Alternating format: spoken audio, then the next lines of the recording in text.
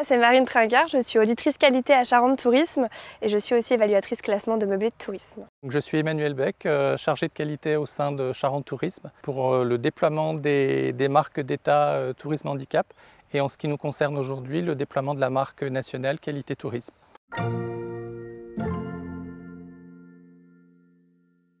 Qualité Tourisme, c'est la seule marque d'État attribuée aux professionnels du tourisme pour la qualité de leurs prestations et de leur accueil. Nous accompagnons euh, principalement les campings, les hôtels, les restaurants, les sites de visite, les offices de tourisme et les activités de loisirs.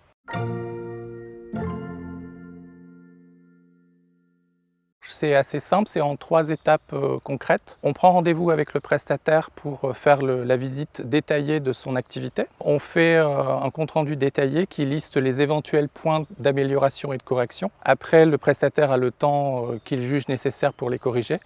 Et une fois qu'on atteint les 85% euh, de seuil minimum d'obtention de la marque, on enclenche, je dirais cette fois-ci, euh, un audit euh, officiel qui a lieu sous forme d'une visite mystère par un cabinet indépendant extérieur partenaire de Charente Tourisme.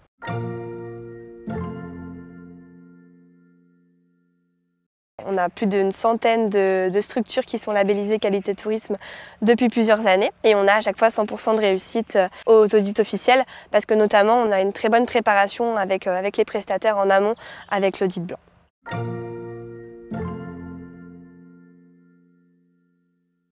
Le bénéfice principal, c'est vraiment d'apporter un regard extérieur à l'activité du prestataire, parce que comme il est le nez dans le guidon euh, toute sa saison, et du coup avec son équipe, il peut vraiment euh, essayer d'améliorer les points de vigilance qu'on lui indique. Et si on se met à la place du, client, ça rassure aussi la clientèle de savoir qu'il y a un accompagnement du prestataire et une garantie de, confort et de qualité de la prestation euh, tout au long du séjour de la clientèle.